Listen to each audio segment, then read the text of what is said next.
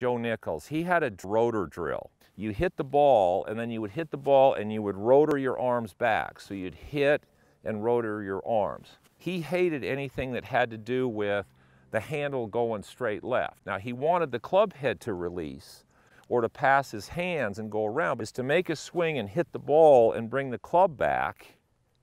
So you're just gonna make a circle is if you're going to make this circle, the handle slows down and the club head speeds up rather than the handle going faster than the club head. Practice that, go out, hit some balls, hit the ball, then, then just rotor the club back, just circle. So the club's just like going in a circle in front of you.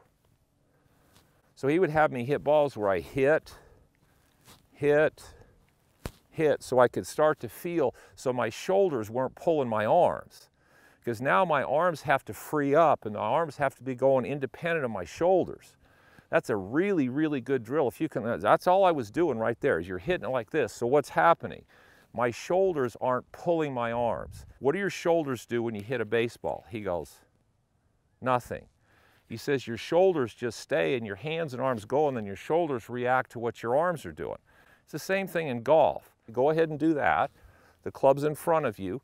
Now just go ahead and and finish.